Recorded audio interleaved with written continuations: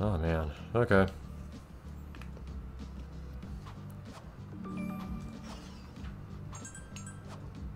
That was a heck of a time last episode, drawing things and then doing things with those drawings. I wonder if this episode will have any more of that.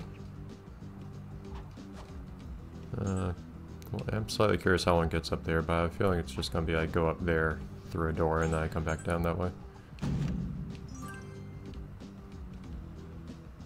Like that.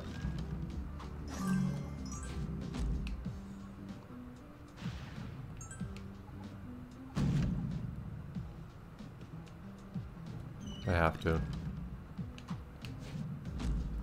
This game has issues with the... The stomp this game is awful.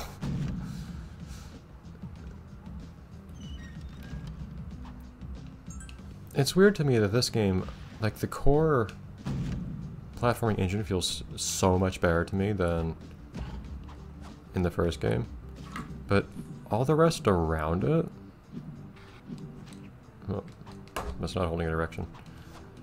All the rest around it just feels so consistently unpolished.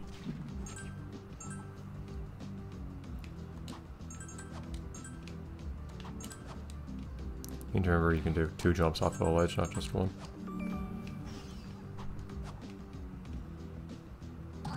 I didn't even see you there, jeez.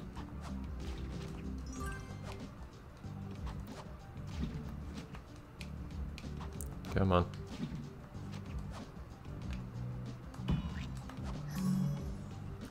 Alright.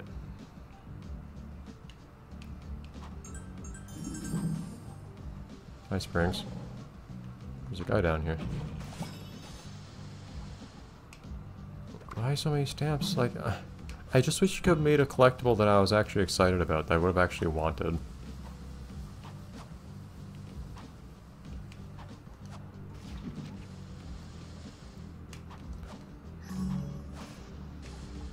It just feels like such a missed opportunity to do anything that would have made me feel like I really wanted to explore and find stuff. Not that I've had to go out of my way to finding these things over anyways, which it may or may not stay that way. We are still quite early in the game. I'll still try anyways, of course.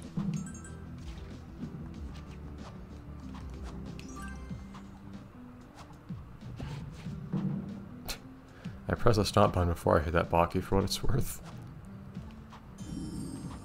Okay.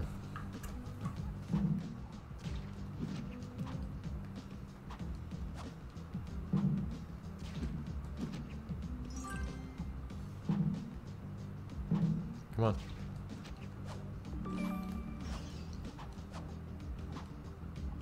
Oh, interesting. Yeah, I've seen one of those um, in town, actually.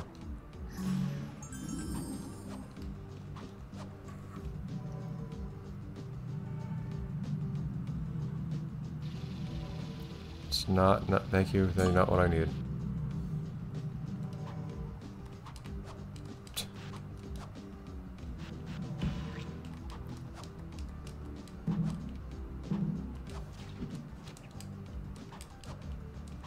Okay.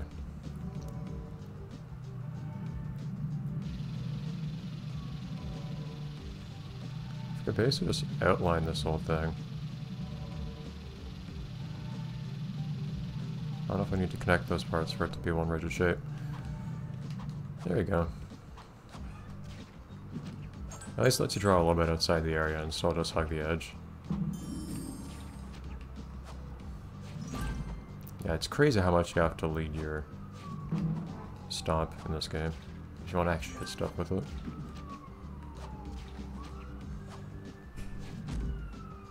So what you saw there was me pressing B just as I crossed the threshold of the edge. Like you move like a whole character distance.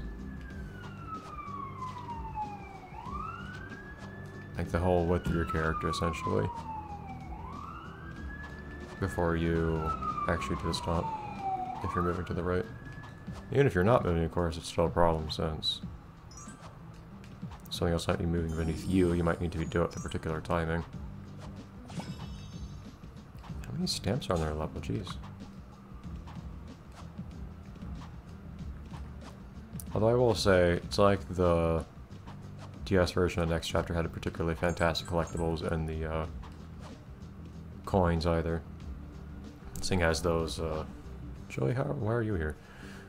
Seeing as those just unlocked a couple more tracks to buy for music in the shop, which I already saw them in the game, so. Why do you feel that now is the time that you needed to say that? Well, okay. Don't know why Jowee just did that.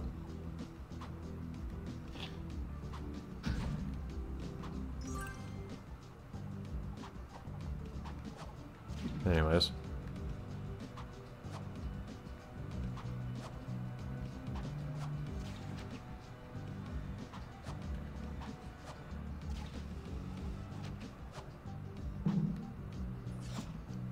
Oh, that was a really good shot.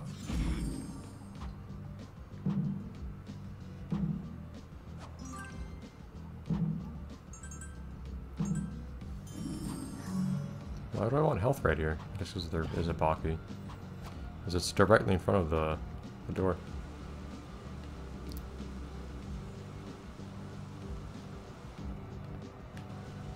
So that's what happens if you slide in the wrong direction in this game, apparently.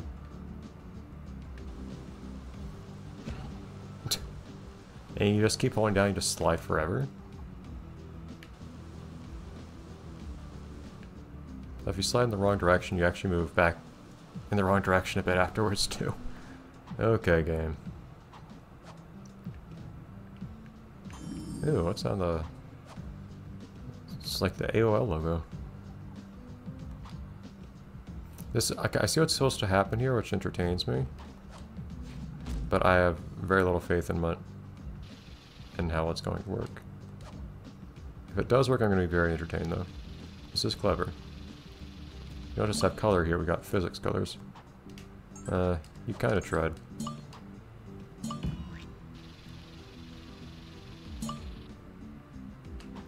Oh boy. Yeah, you do kind of have to actually launch yourself. That is amusing. And it doesn't work especially well, but I'm, I'm amused enough by the idea that I won't complain. I like that. Alright, what in the world are you? Oh, I don't care. Darn it, game! Stop giving me more stuff to not draw with.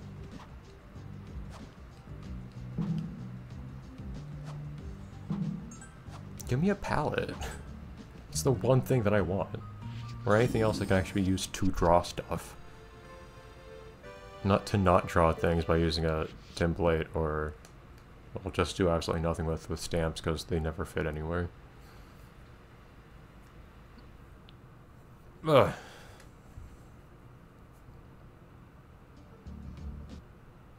CQ1 polish, I still can't believe these loading screens.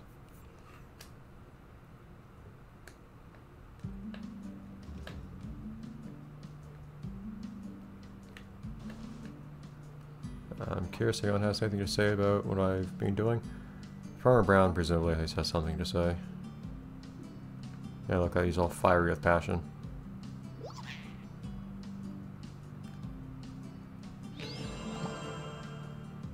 So, like, does it matter that I do these things? And why does it still say I have zero coins in the corner? I feared that'd be the amount of money that I managed to...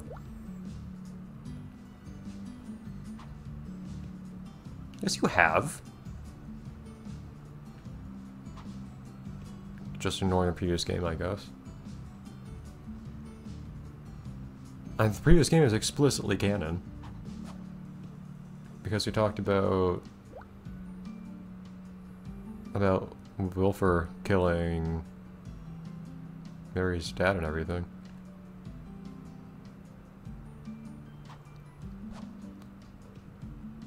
Anyways. Yeah, it's just weird how, how the coin... I fear that coin total would be like the stuff I could spend at Isaac's shop, but... Yeah, it's kind of implied we have to find... What's his name? Um... Sasha first feel like I should talk to all the others again anyways. Um, in part, eh, that's not the word I'd use for Zoe. Jowee. But um, I want to make sure no one else has quests to give me for the next level. Oh, well, you already got the car.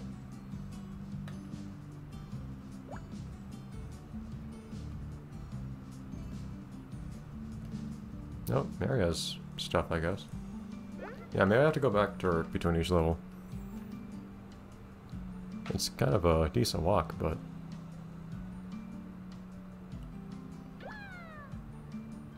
It's just not the sound I imagine coming out of Mary, but okay. I already knew that. Everyone else is so un uninterested, they just walk away at this point. Okay, and that's just the end of that discussion. Okay. Yeah, there's the physics block there, which I don't think I can do anything with. I feel like a few things here are interacting with each other. Anyways, you still have nothing to say, it looks like. In fact, absolutely nothing to say. Okay.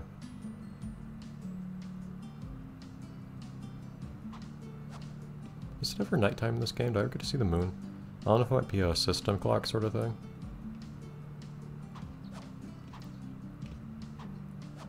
I like I should be able to get on top of there.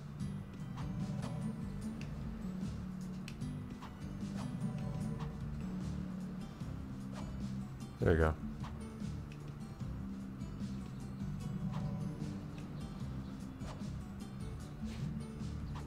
There's no impact when you hit the ground with a stomp either. There you go. Sometimes there isn't. Anyways. Isaac, I guess I have technology again. Yeah.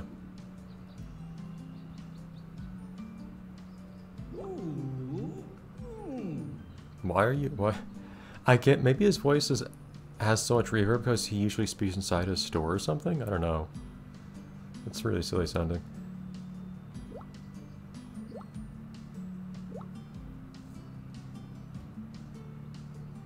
Why? These are such strange places to end these conversations. Just like, oh, get into the window or something, dude. Seriously. Cricket, do you have any opinion on this matter? Well, you're not doing a very good job of it, but I know that's kind of your deal. You never find, or never manage to catch Sasha. Anyways. Anything new, Heather? I'm still convinced it's more the other way around. But anyways. I'll, I might poke around at the sports game at some point just to try one of I think there are other main games to try, I don't remember especially well.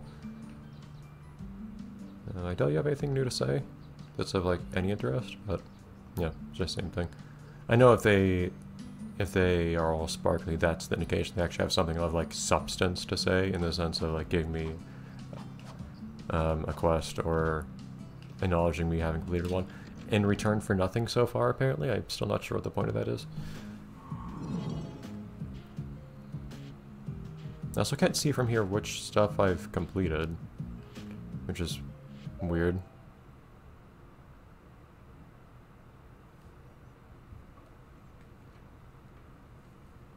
Next Chapter DS also had that problem. Which is weird in contrast to the first game, which had a very good habit of telling you all those kinds of things. What's with this multiple loading screen thing? This is very silly. There you go. Yeah, I got both those things. Is it? It's not plus to pause in this game, it's minus. That's very strange. This game just doesn't seem to follow usual control conventions for... Dude. Dude. For the Wii either? It is very odd to me.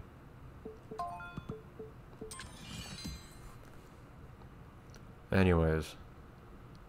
Next time we'll head on to the next level, which I believe this is the last episode for me to record today, correct? Yes, okay. So next time, I'll probably be refreshed and more in the mood to draw stuff again. Jeez. And we'll head on to the next jungle level.